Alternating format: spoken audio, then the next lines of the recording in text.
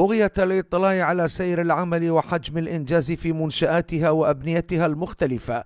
أجرى معالي وزير الدفاع يرافقه مدير دائرة الإسناد الهندسي وعدد من ضباط الوزارة زيارة ميدانية إلى قاعدة الصويرة الجوية حيث استمع سيادته من قائدها إلى إجاز مفصل عن مراحل البناء والتهيل لكافة مرافق القاعدة مبديا توجيهاته السديدة بصدد سرعة إنجاز العمل.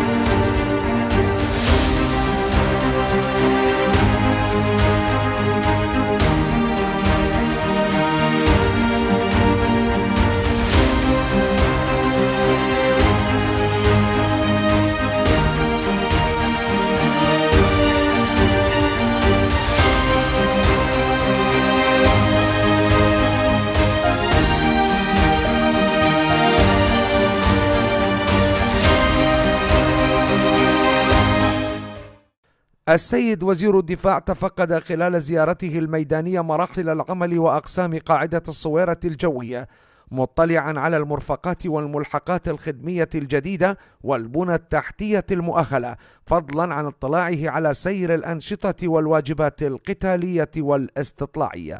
مشروع آه، تأهيل وتطوير قاعدة الصويرة الجوية. طبعا آه، هذا القاعدة في آه، الفترة اللي سبقت 2003 آه، كانت مدرسة طيران الجيش. فبعد 2003 ارتأت آه، وزارة الدفاع أن تطور هذا هذا هذه المدرسة آه، إلى قاعدة جوية تعتبر يعني كلية قوة جوية وبنفس الوقت هي قاعدة لتدريب الطيارين. والمشروع حقيقة صار بتلكؤ المشروع طبعا تم توقيع العقد بتاريخ 2000 بتاريخ 1 7 2015 صار بتلكؤ وعندما استلمت الوزارة وجدت هذا المشروع متوقف وقررت أن نستأنف يستأنف العمل في هذا المشروع. والحمد لله قطعنا شوط هسه النسبة تقريبا وصلت تقريبا إلى 70% في هذا المشروع والعمل مستمر وإحنا متابعين هذا المشروع المهم والاستراتيجي وإن شاء الله بالفترة اللي, اللي إحنا راسميها راح آه، يكمل هذا المشروع وتصير عندنا قاعدة جوية وبنفس الوقت هي كلية قوة جوية. وهاي طبعا قاعدة آه، تعتبر آه، قاعدة أيضا احتياط حتى للطيران المدني لأنه قريبة على بغداد.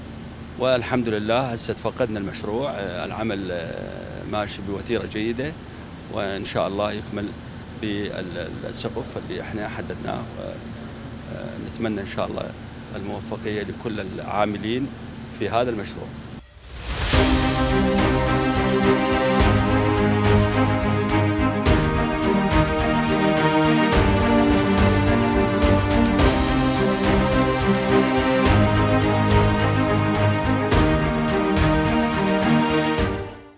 زيارات ميدانية مستمرة لمعالي وزير الدفاع لمختلف قواطع العمليات والمؤسسات العسكرية القتالية والإدارية. تأتي بالدرجة الأساس لرفع الروح المعنوية للمقاتلين والاطلاع على أحوالهم وأمور وحداتهم وتقديم الدعم والإسناد لهم.